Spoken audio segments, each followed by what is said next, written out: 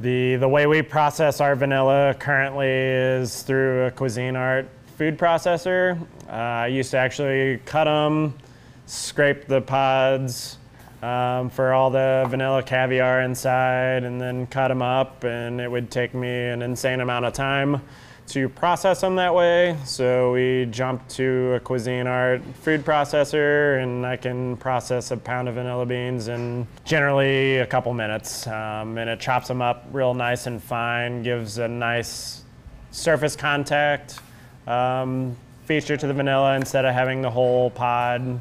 You're kind of dumping in almost a cut up slurry of uh, vanilla beans that have the most surface contact with the, the beer itself for extraction. To learn more about brewing milkshake IPAs and sour IPAs, click the link below.